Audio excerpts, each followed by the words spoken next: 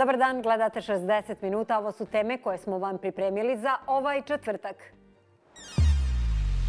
Kakvu turističku sezonu u Srbiji i Crnoj Goru su u Crnoj Gori su najavili spojeni prvomajski i vaskršnji praznici.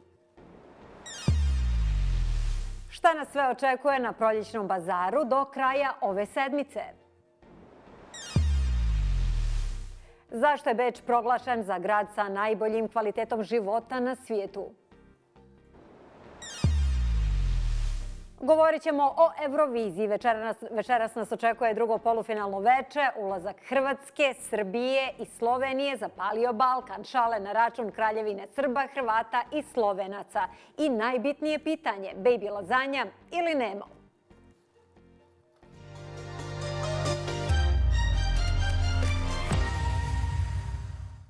A danas u studiju žurnala je naša Gordana Đuračić koja će nam prenijeti najvažnije vijesti do ovog momenta. Dobar dan, Goco.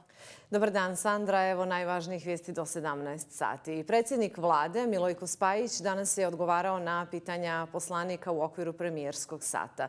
Demokratska partija socijalista upitala ga je da li njegova vlada može održati spoljnopolitički kurs budući da činioci parlamentarne većine različito tumače pitanja o Srebrenici, Kosovu i NATO-u.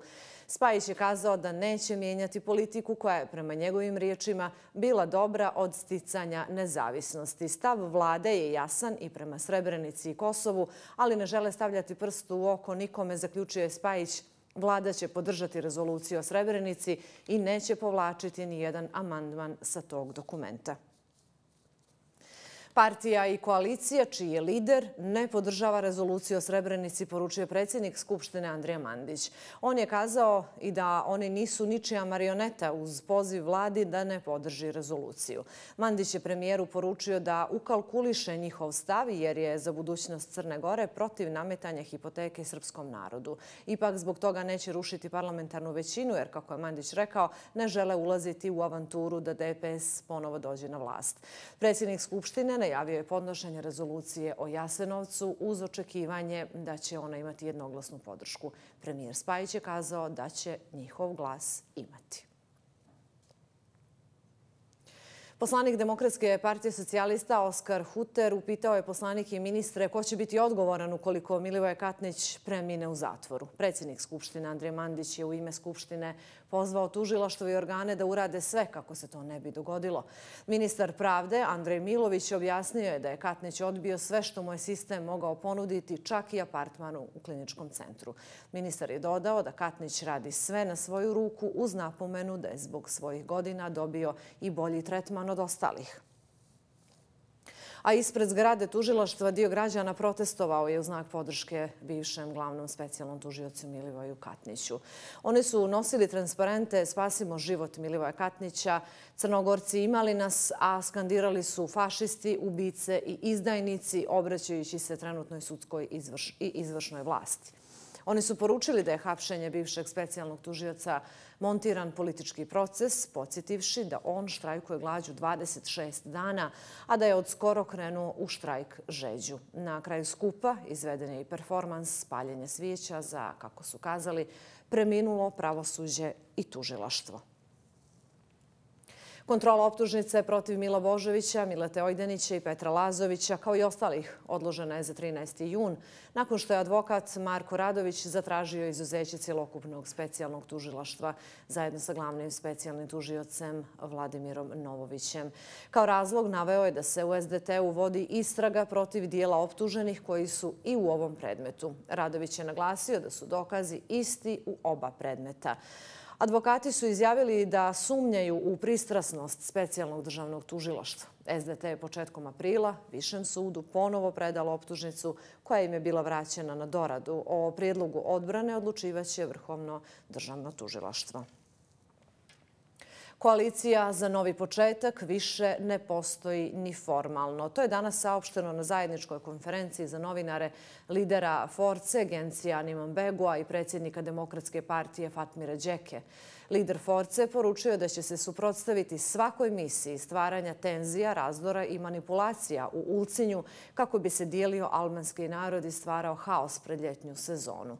Kazao je i da odlazeći predsjednik opštine umjesto da organizuje sastanke sa poslovnim ljudima i turističkim operatorima kako bi podstakao ekonomiju, vodi, kako je saopštio, tajne razgovore iza leđa članova svoje koalicije.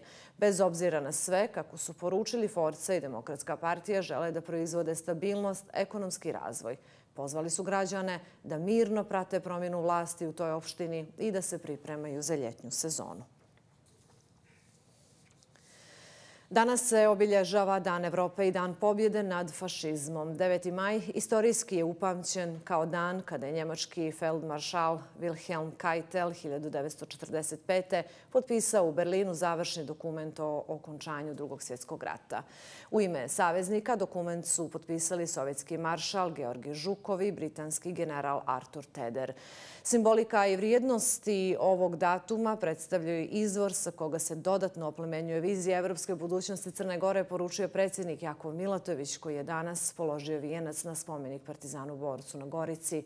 U čast maršalu Georgiju Žukovu danas su u Beranama predstavnici Srpskog kluba organizovali svečanost. Predsjednik NVO veterani 63. padobranske brigade Nebojša Jušković položio vijenac na spomenik Žukovu. U Crnoj Gori obilježene sa više raznovrsnih događaja u nekoliko opština pod sloganom Evropski džir, u okviru koga će biti reflektovane težnje države ka evropskoj integraciji i usvajanju zajedničkih evropskih vrijednosti. Rusija je paradom pobjede na Crvenom trgu u Moskvi obilježila 79 godina od pobjede u drugom svjetskom ratu. Na Crvenom trgu održana je parada pobjede. Učestvovalo je više od 9000 ljudi kao i 75 jedinica vojne tehnike i avijacije. Akcije Besmrtni puk neće biti ove godine, već će do 12. maja biti održana u različitim formatima. Na paradi se tradicionalno svakog 9. maja predstavlja najsavremenije oružje iz arsenala Ruske vojske. Crnogorski karatista Nenad Dulović osigurao je medalju na Evropskom šampionatu u Zadru. Članom mladinca upisao je četiri pobjede i tako izborio plasman u finale. Borba za zlatno odličije na programu je u subotu. Dulović je izvanični vice šampion svijeta. U Crnoj Gori u četvrtak promjenljivo povremeno sa kišom i pljuskovima sa grmljavinom. Duvaće slab da umjeren južni vjetar. Jutarnja temperatura 9, maksimalna 23 stepena. Pratili ste dnevni žurnal. Ponovo smo sa vama u 19 sati i ostanite uz Sandru i 60 minuta. Hvala, Goco. Tokom spojenih prvomajskih i vaskršnjih praznika na hiljade turista iz zemlje i regiona boravilo je na Crnogorskom primorju.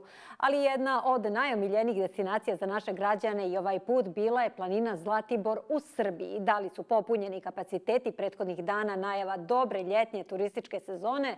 Pogledajte u priči naše Žane Janković.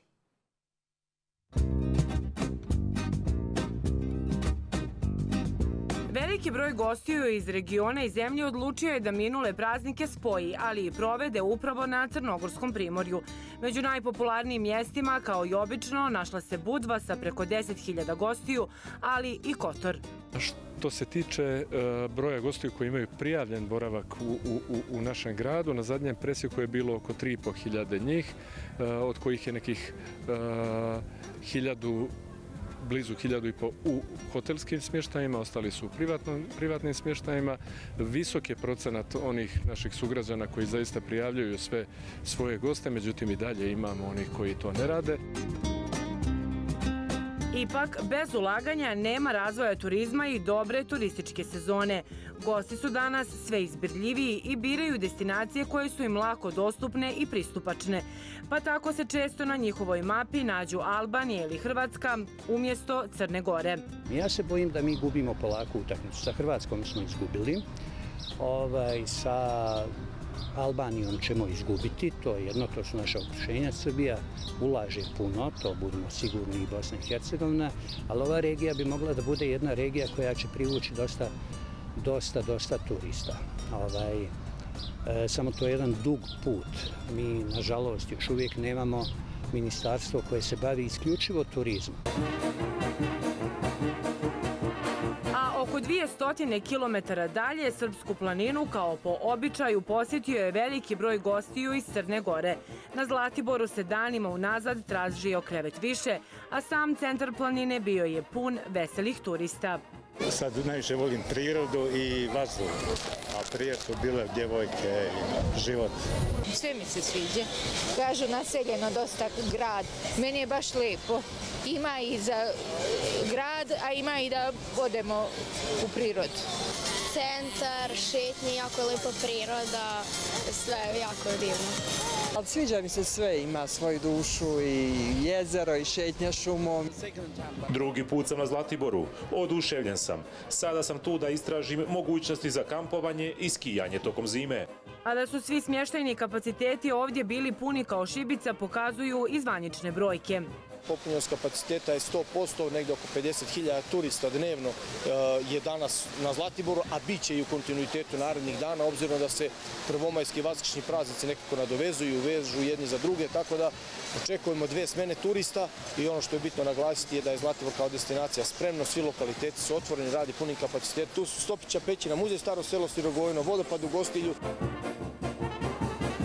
Mnogi sa ove omiljene crnogorske destinacije kući ponesu omiljene suvenire, ali nisu u pitanju magneti, već oni jestivi suveniri. Turisti, gosti traže zlatiborskih ovih proizvoda, ovih divljih zdrava, lekovitih i meda dobroga.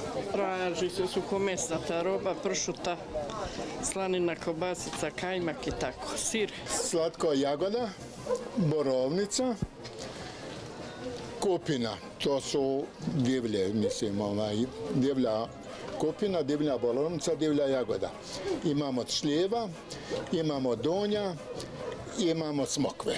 Ako je suditi po zainteresovanosti turista uz malo ulaganja i Crnu Goru, ali i Srbiju, očekuje dobra ljetnja sezona.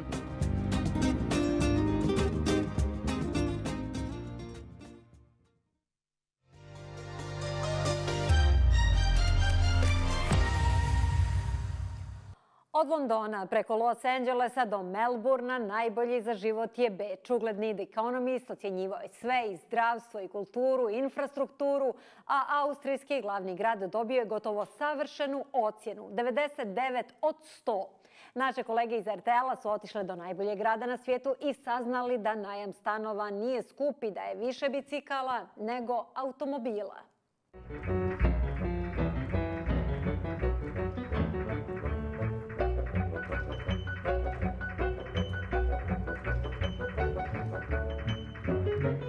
Kakav je život bio kada su ovim ulicama šetali Mozart i Beethoven, to ne znamo, ali dvije stotine godina kasnije ovo je najbolji grad za život na svijetu. I kada to kažete građanima Beča, odmahnuće rukom i reći da to i nije nešto novo, jer Beč je broj jedan već drugu godinu. Zanima nas zašto? Za jedan veliki grad jako dobro je povezan. Možete doći svuda jako brzo. Stanarina nije skupa kao u drugim gradovima i imamo Dunav. Um, Za 12 godina koliko sam tu, ništa mi se loše nije desilo. Nikada me nisu opljačkali ili slično.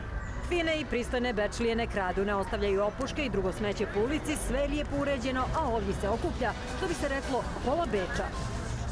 Kad smo ovdje pitali što to čini Beč najboljim na svijetu za život, svi su nam rekli jednu stvar, vrtovi i zelenilo. I doista pola Beča čine vrtovi i parkovi poput ovoga. Ovdje ljudi dolaze piti kavu, odmoriti se, učiti za ispite, igrati košarku. Da, Beč je najzeleniji grad Europe. Ali ne samo Europe, nema zelenije grada u cijelom svijetu i to je bio jedan od 30 kriterijuma zašto ga je ekonomist proglasio najboljim. Vazduh im je minimalno zagađen, čemu vjerovatno pridonosi i činjenica da ovdje radije biraju bicikl nego auto. Ali ne samo to. Postoji mali broj onih koji u okviru društvenih projekata imaju male bašte. Dakle, komšije zajedno sade krompir i paradajz u sred grada. Zato svuda možete pronaći nešto za pojesti. Sve je jako čisto. Ljudi su obrazovani, pametni i bez kućnika je jako malo. Super mjesto u kojem nisu svi raspoloženi za razgovor. Valjda im je toliko dobro da ne žele da drugi znaju za to. Jer kako nam neki kažu, puno se ljudi već sada doselilo u Beč. Stari ljudi su malo džangrizavi, ali mladi su otvoreni, prijateljski nastrojeni i rekla bih smiješni. Ne živi se tako ubrzano kako biste pomislili, a život vas u najboljem gradu mjesečno izađe oko 3000 eura. U Beču smo pronašli i Marija Harapina, sada već domaćeg ovdje. Sa bilo kojeg kraja Beča na bilo kraj koji kraj Beča dođete jako brzo.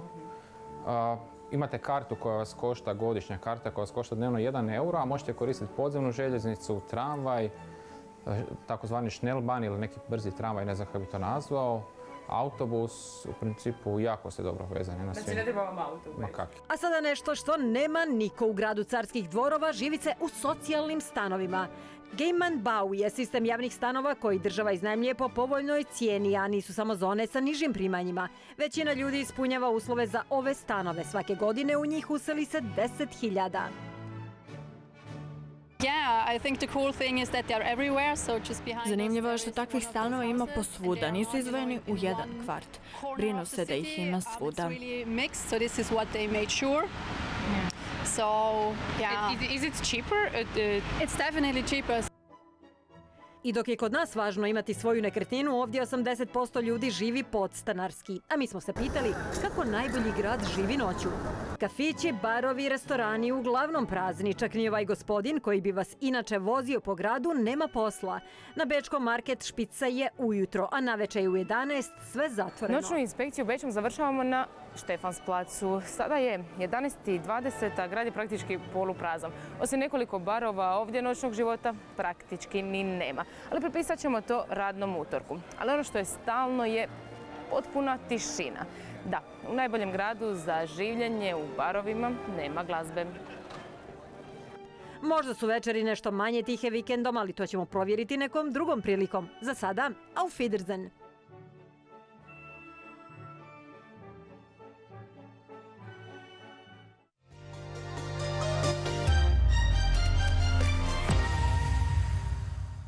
Pravimo kratki predah, a onda slijede priča o Rusongu, Podgoričkom proljećnom pazaru i grupi ABBA. Ostanite i dalje uz 60 minuta i prvu.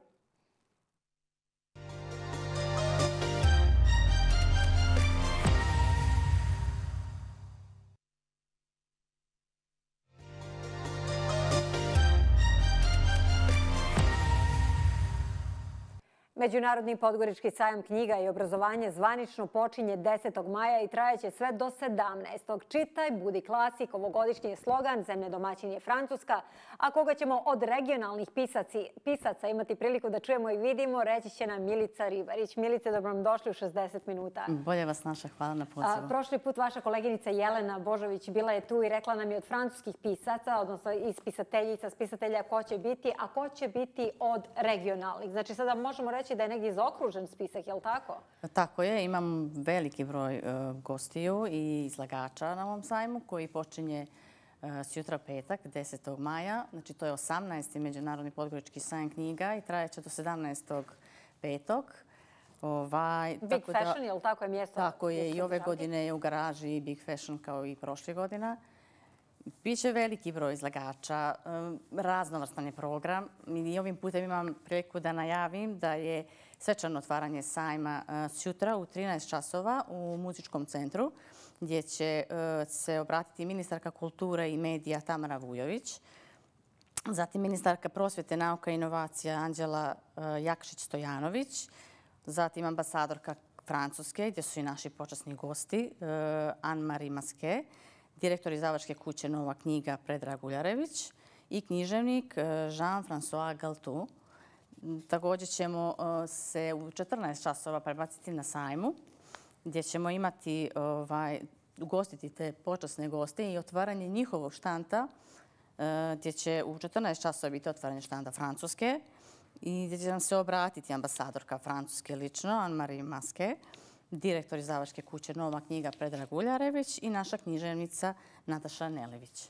Da, i ono što je interesantno, od nekih imena koje možemo pomenuti, Vladimir Pištalo ponovo dolazi. Tako je. Imaćemo gospodina Matijevića sa knjigom Sigurno Pakrac, koji će da promoviš ovdje, koja je inače i dobila nagradu Beogradski pobednik, je li tako? Kristijan Novak, on će nam sutra biti i gost u 60 minuta. Pero Zubac, iako je još uvijek upitno da li će, ajde, 99% dolazi, ali ovaj 1% procenat ostavimo da zbog njegovih godina možda i neće doći. Koga ćemo imati priliku još vidjeti i čuti? E, sutra u petak ćemo isto tako u 18 časova imati e, promociju knjige ovog e, francuza, Jean-François Galtou, Putešestije po zemlji koja više ne postoji. Zatim u 20 časova, kao što ste najavili, će biti Kristijan Novak sa njegovom e, knjigom Slučaj vlastite pogibelji. Tu će govoriti Jelena Krsmanović. E, drugog dana sajma ćemo imati isto e, ovaj, također veliku knjigu knjiga o Hičkoku, promociju Aleksandra Bečanovića, gdje će govoriti Maja Bogojević. Zatim ovaj, u 20 časova ćemo imati Lompara, Mil Lompar, njegovu knjigu predavanje o Branimiru Šćepanoviću. Ovaj, Francuska ambasada će imati raznovrstan program. Imaće radionice, imaće projekcije francuskih filmova, e, jezičke radionice za osnovce, radionice čitanja za osnovce i srednjoškolce, društvene igre i razne znači, kvizove. Zatim trećeg dana sajma ćemo imati pištala, kao što ste da, rekli. A kada ste pomenuli, izvinite što se prekidam pištala, s obzirom na to da je on već promovisao knjigu pesma o tri sveta, bio je u Podgorici, bio je na Primorju, bio je, ja mislim, i u Nikšiću, je li tako? E, prošle godine je bio, ja mislim, u Budvi. Dobro, bio je Budva, Kotor, Tivac. Jeste. Obišao je Primorje, bio je ovdje. Šta sad promoviše? Da li će nastaviti znači, sa pesmom o tri sveta ili će možda pisma Andriću? E, književni portret. Uopšte, okej. Tako je. E, samo da vidimo, još uvijek imamo, znači trećeg dana imamo i promociju knjige Bruno Simleša, Škola života. I tu i Francuska ambasada, kako je počasni gost, će svakog dana imati neke radionice i neke aktivnosti. Mislim, i za djecu i za odrasle nisu zaobišli nijednu populaciju. E, zatim četvrtog dana ćemo imati e, promociju novog izdanja romana Koncert e, Muharem Bazdulj, gdje će govoriti Ksenija Rakočević. U 17 časova ćemo imati knjigu priča o Tomi, koja je sada aktuelna i koja je izašla, Gdje će govoriti Nikola Marković, Branko Baletić i Jelena Kasparović. Zatim ćemo imati u 16 časova za ljubitelje stripova ko voli gostovanje francuskog strip crtača i predstavljanje njegovih dijela, znači Kristijana Laksa. U 19 časova ćemo imati njegoševa dijela. Će govoriti Gojko Božović. E, Pero Zubac će nam isto biti, ovaj, rekli ste pitanje da. li će biti ili ne, evo znaćemo. Ovaj, zatim ćemo imati petog dana, e, samo da vidimo šta će nam tu biti, promocija mm, Radmile Petrović, to nam je najmlađi učesnik. Pjesnik je, je li tako? Tako je. Ona također dolazi. Sa njenom knjigom poezija.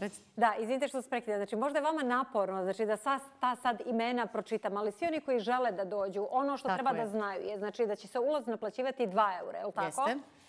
Da sve informacije o svim gostovanjima, regionalnih, inostranih istopisaca mogu se informisati putem portala, je li tako, i vaše Instagram stranice. Kako?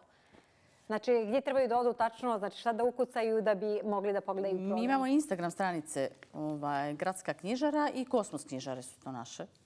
Tako da mogu ući na... Koliko ćete imati štandova? E, osam štandova je naših sa raznim knjigama. I I milice, samo za kraj još da pomenemo. Rekli smo ulaznica 2 eura, ali što je bitno, oni koji dolaze sa djecom?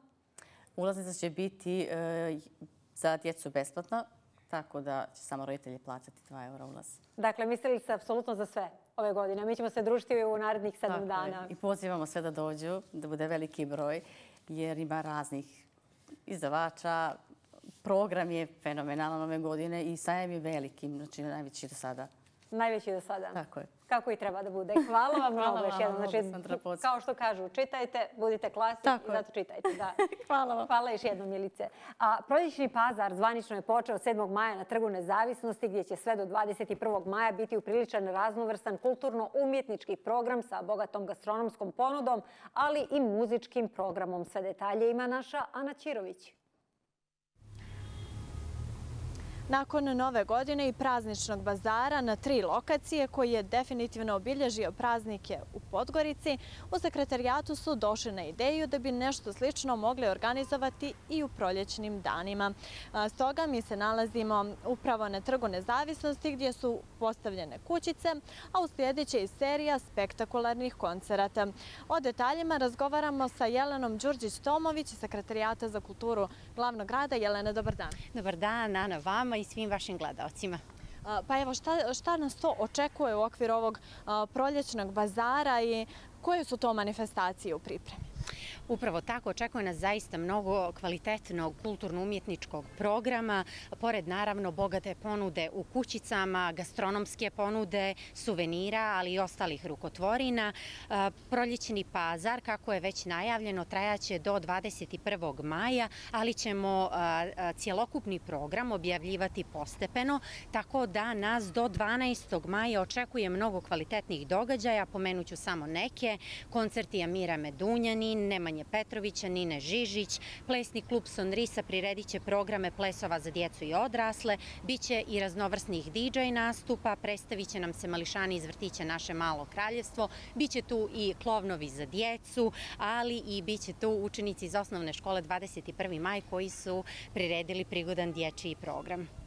Večeras koncert veoma popularnog ABBA tribute benda.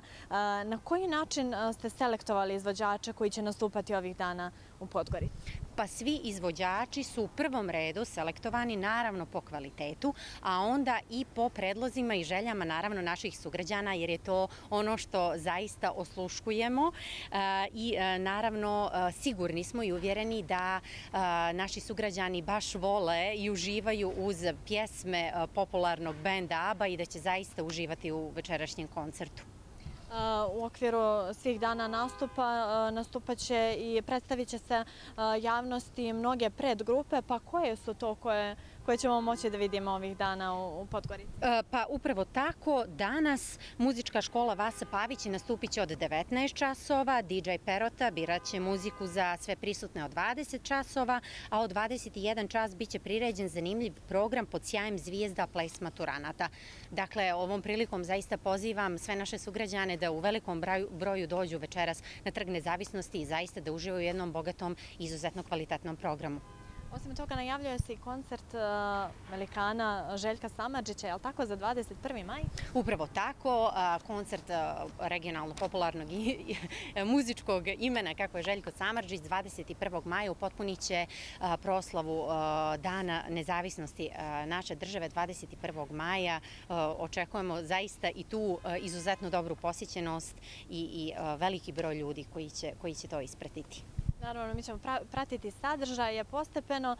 Evo, kakva su vaše očekivanja? Sinoć je zvanično i otvoreno. Kakva su vaše očekivanja? Kakav je odziv i interesovanje građana za, za sada i da li ćemo imati ova izdanja proljećnog bazara i narednih godina? Pa, e, da vam kažem, ovo je jedna sigurno od najpopularnijih gradskih manifestacija, a, na što smo a, izuzetno ponosni, ako mogu tako da kažem. Tako da nam je cilj negdje u budućnosti da definitivno postane i dio tradicije, da tradicionalno imamo ovako zanimljive i kvalitetne manifestacije koje posjećuju zaista svi naši sugrađani. Jelena, hvala vam mnogo na, na izdvojenom vremenu. Hvala i vama.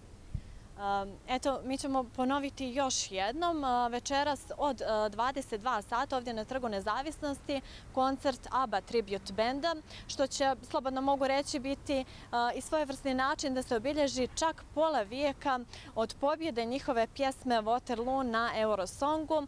A na koji način to obilježava Švedska u koju su trenutno sve oči uprte zbog trenutno aktualne pjesme za Euroviziju, vidjet ćemo u nastavku.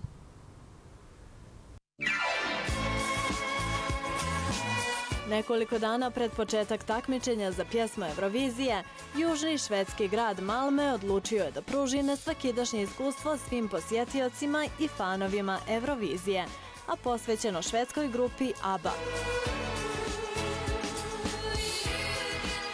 Postavkom ABBA svijet koja uključuje artefakte, kostime i nastupe uživo, obilježava se jubilej od najikoničnijeg trenutka Eurovizije, a to je pobjeda grupe ABBA 1974. godine sa pjesmom Waterloo. Počelo je sa Waterloom, a onda postoji toliko mnogo takmičara Eurovizije koje obožavaju ABBU. Broj njihovih fanova je ogroman i sve jači kako vrijeme prolazi. Mislim da je ovo vesela muzika koja ujedinuje ljude, pa smo zato i mi ovdje, da proslavimo 50. godišnicu. Tu su artefakti iz muzeja ABBA, kostimi Dolce Gabbana koji su nošeni na digitalnom koncertu ABBA Voyage i pjesme iz Mamma Mia, zabava smještena u bučnoj grčkoj taverni. Uh, ono što mi radimo zapravo jeste da okupljamo sve entitete kojima je sfera interesovanja u ovom trenutku upravo ABBA. I tu je naša izdavačka kuća Polar Music. To je ABBA Voyage i Mamma Mia, žurka. I to je ABBA muzej. Dakle, prikazujemo svaki dio ABBA svijeta na svoj način, blisko sarađujemo između sebe i ovo je izvanredna prilika da pokažemo svim fanovima šta radimo. Pobjeda na takmičenju za najbolju evropsku pjesmu pokrenula je bend ka vrhuncu slave. Svim zaslugama napravila od Abe pop velikana, ali i pokrenula muzičku industriju Švedske. Abin melodični disco pop prodao je na stotine miliona ploča širom svijeta. Uh, Muzejska postavka uključuje crne kožne čizme koje je nosio član Benny Anderson tokom tog nastupa 1974. i originalnu ploču Waterloo. Originalne kostime i zabavo jaž kostime Dolce Gabbana i djeliće emisije Mamma Mia. Članovi benda nisu nastupali zajedno uživo četiri decenije, ali su 2021. objavili povratnički album Voyage. Svaki dan fanovi prisustvuju koncertu digitalnih Abatars u hit emisiji ABBA Voyage, koja je otvorena u Londonu 2022. godine. Ogroman sam Abin fan, to svi znaju. Prvi njihov album sam kupila kada sam imala 10 godina. U Australiji su njihovi vatrni fanovi. Mi smo tada bili djeca i mnogo smo ih voljeli. I tako podsjeća nas na mladost i neka lijepa vremena kada čujemo njihovu muziku.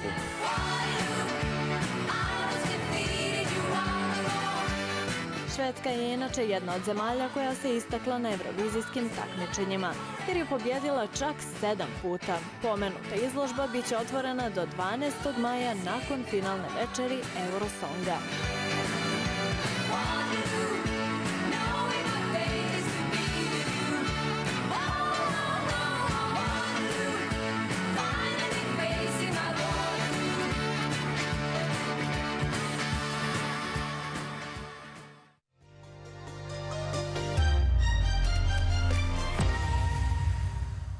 Baby Lazanja odvoje Hrvatsku u finale Eurosonga. Teodora je plasirala Srbiju, a Raven Sloveniju. Balkan je u ekstazi već od preksinoć kruže na mrežama šale o kraljevini Srba, Hrvata i Slovenaca. Kratka priča o Eurosongu i drugoj polufinalnoj večeri.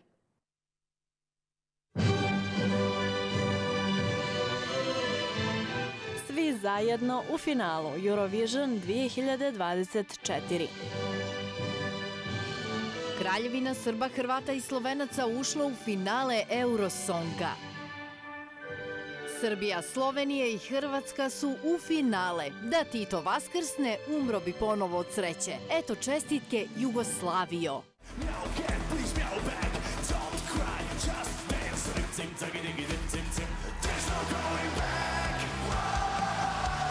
Bivša Jugoslavija je ujedinjena bar kada je riječ o glasovima i podršci takmičarima na Eurosongu, a najviše šansi za pobjedu, bar za sada, ako izuzmemo nema iz Švajcarske, ima Baby Lazanja koji se najbolje kotira na kladionicama. Prije odlaska u Malme, u Hrvatskoj su ugovorili o Marku. Sjećam se kad sam prvi put slušala pjesmu na radio, jer naravno bila sam znati željna ko će sad biti ta osoba i ono, pala sam na guzi sjećam se samo da sam mu instinktivno odmah ovaj, rekla iskoristi priliku. Meni je to ušlo u uho, e, taj refren, taj e, neki snažni melos. Svega ovoga što se događa nisam najveći fan, ali u redu i to ću odraditi onako hrabro zbog ljudi koji su glasali, zbog ljudi koji su vjerovali u mene, zbog ljudi koji su se molili za mene. I zato su reakcije njega i Teadore nakon ulazka u finale ovakve.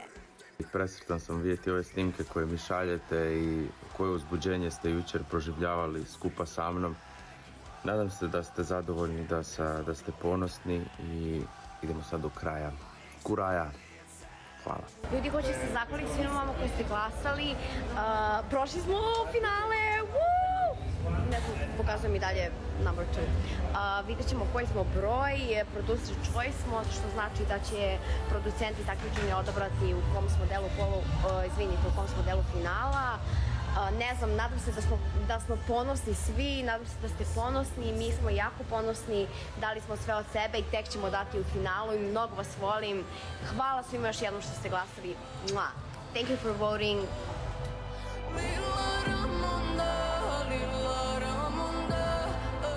Srbija, Portugal, Slovenija, Hrvatska, Ukrajina, Litvanija, Finska, Kipar, Irska, Luksemburg. To su prve učesnice finala u subotu.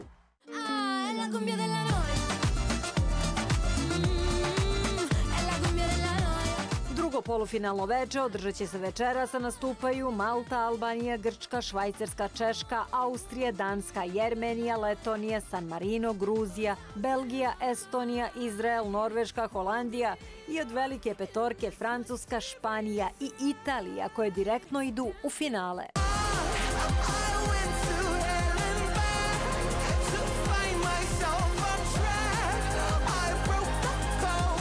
Predstavnik Švajcarske Nemo na generalnoj probi osvojio je brojne simpatije, ali i na društvenim mrežama, pa mnogi komentarišu da je upravo on najveća konkurencija predstavniku Hrvatske i da bi baš on mogao biti pobjednik ovogodišnjeg Eurosonga.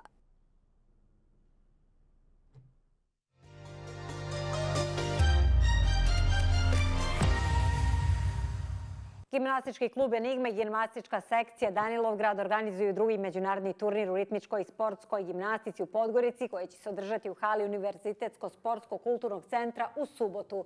Drugi Enigma Kup Podgorica 2024. Sa nama su danas Željan Brajević, direktor gimnastičkog kluba i Iva Plemić. Dobro nam došli u 60 minuta. Da li ste spremni za takmičenje? Prije svega hvala na pozivu i bolje vas našli. E, izvinjavam se, rekli ste? Da li ste spremni za takmičenje? Pa spremni, naravno da smo spremni. Ovaj, završne, su, završne su pripreme u toku. Uglavnom je sve to ovaj, već spremno, tako da iščekujemo i mi željno ovaj, subotu da krenemo sa takmičenjem. A koliko će biti takmičara? Iz koliko zemalja dolaze? Takmičara će biti već je prešao broj 300. Dolaze iz zemalja Letonija, Ukrajina, e, Kipar, e, ovaj, Kipar, Kipar Hrvatska, Sloven, Hrvatska, ovaj, Srbija, Srbija i zaboravio sam jednu, ovaj, i Turska, izvinjam se, Turska, tako da region je pokriven, bit će ovaj, oko 18 klubova i Crne Gore, naravno, klubovi, tako da odziv je dosta veliki. A, kakva je Iva? Da li je Iva spremna i koja je ovo godina kako se takmiči? Da li je debitant, s obzirom na to evo da smo čuli malo prije, prije što smo počeli razgovor, nešto smo pričali, od pete godine treniraš, je li tako? A ti imaš koliko godina? A, sada sam napunila 13. Tri, znači 8 godina. I za 8 godina šta si sve uradila? Pa napravila sam jako veliki napredak. A, kad smo počeli, to je sve bilo a, igra rekreativno ali uh, već kad sam krenula uh, jedno pet godina da treniram, tad sam već htjela da, da ozbiljno shvatim i zavoljela ovaj sport. I da li je bilo nagrada? Šta najviše od rekvizita voliš da koristiš? Moja miljeni rekvizit je lopta. Uh, ona mi nekako i najbolje ide i najviše volim da radim uz nju jer je elegantna, može da ide brz, može uz brzu muziku, u sporu, zavisi kako kad. Uh, veliki je napredak također zato što e, kad smo manji počeli smo da radimo prvo bez rekvizita, ali e, godinama počinjemo polako da radimo s rekvizitima, s obročajem, s loptom, pa kasnije čunjeve i traku. I ti si sve to prešla, je li tako? Pa e, još uvijek nisam došla do trake, zato što je to za juniorke. Ja sam sada trenutno pre juniorka. Kada budem počela traku, to će, ja mislim, biti još bolje i naprednije nego što je inače. I Iva, da li možda sebe vidiš u budućnosti na olimpijadi? Zašto da ne? Pa da, ali za početak bih htjela da odem na svjetsko i evropsko i da osvojim što bliže mjesto. Ali prvo medalja sada, je li tako, za koji dan? Željene, kakve su druge djevojčice? Kako, koliko ima takmičarki iz Crne Gore? Pa iz, Evo konkretno iz Enigme. Iz, iz, konkretno iz Enigme će biti oko 50 takmičar, takmičara u, u aeronome sportskoj gimnastici i ritmičkoj gimnastici. Inače, što se tiče ostalog broja takmičara, sad neću znati precizan broj, ali mislim da će iz Crne Gore od ovih 300 učestvovati otprilike negdje oko 170 ili malo više. I kad počinje takmičenje? U koliko sati, do koliko, koliko će biti disciplina, koliko treba dodijeliti nagrada? Pa e, kad kažemo 300 takmičara, to je, to je negdje oko 350 ili 60 vježbi jer e, su, discipline su sa rekvizitima i bez rekvizita. Da. Čak imamo e, grup A kategorija i e, ostale kategorije koje se takmiče sa rekvizitima. Imamo jedna, recimo, gimnastičarka je, sa svim rekvizitima nastupa, tako da je to više nastupa. Što se tiče početka takmičenja, u 8 sati počinjemo sa aeronom sportskom gimnastikom, u 10.20 ili 10.30 će biti otvaranje takmičenja e, gdje ćemo imati neki, da kažem, revijalni program. E, ovaj, učestvovaće gimnazijalci iz gimnazije Petar I. Petrović Njegoš, horska sekcija koja će pjevati himnu i još nekih, da kažem, nekog revijalnog dijela.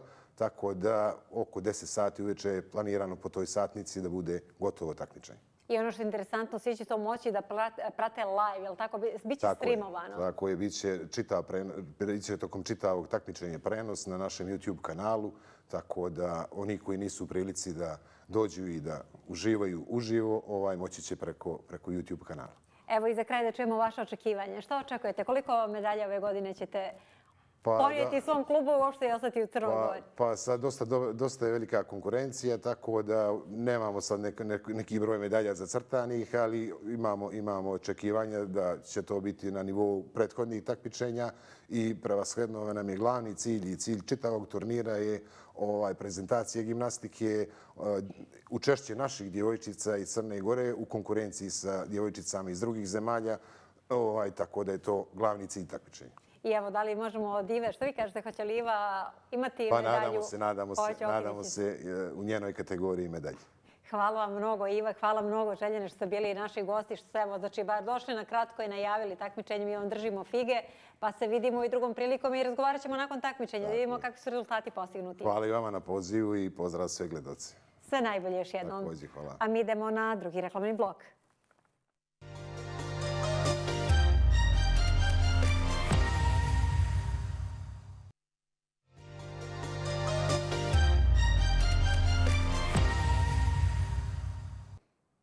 Rod Stewart nedavno je snimio novi album sa Julesom Hollandom Swing Fever koji će promovisati nakon turneje One Last Time u okviru koje će održati koncert u Beogradu iduće sedmice 17. maja. Pokazat će, kako kaže, samo ono što uspjeva izabranima koji nakon 40-50 godina karijere u stanju su da naprave pravi šou. Every time it rains, it rains, Roda Stewarta ništa ne može da zaustavi. Sa 79 godina i karijerom koja traje 7 decenija nastavlja punim gasom. Neki od najvažnijih događaja u ovoj godini uključuju njegov 200. nastup u rezidenciju Las Vegasu, novi swing album i turneju u okviru koje će nastupiti u Beogradu i to prvi put u karijeri.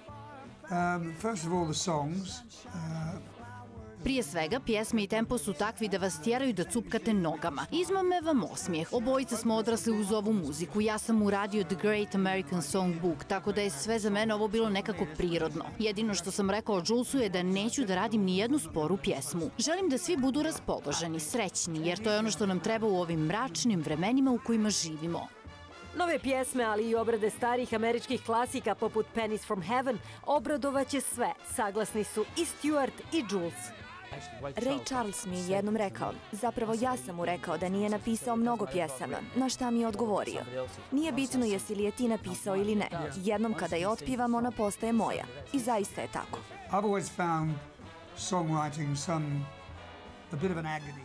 Uvijek sam smatrao da je pisanje pjesama agonija, kao da ste ponovo u školi. Kada sam bio u Faces, zaključavali su me u hotelsku sobu sa flašom vina i govorili da neću izaći dok ne završim tekst. Tada sam bio zloglašen, a samo sam želio da izlazim i uživam, a ne da sjedim u sobi i pišem pjesme. Osjećao sam se kao da sam kod zubara. Ono što me raduje kod ovog albuma je što ništa nisam napisao. Pjevao sam pjesme koje volim i imao sam pravog partnera u zločinu. There's a smile on my face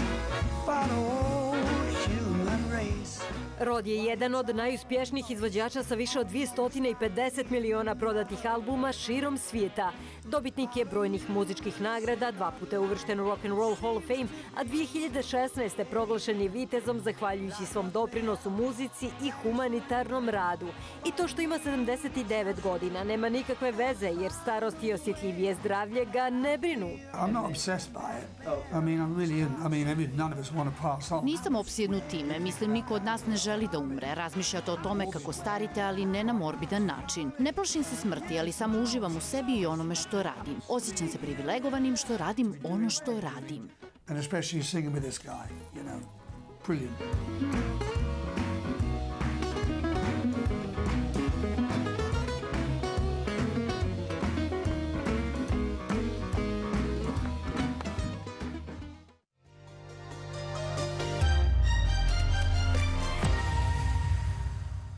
I sa pričom o rodu stigli smo do kraja današnje emisije. Vidimo se sutra od 17 sati, a vi dalje ostanite uz prvu jer slijedi ekskluziv. Doviđenja!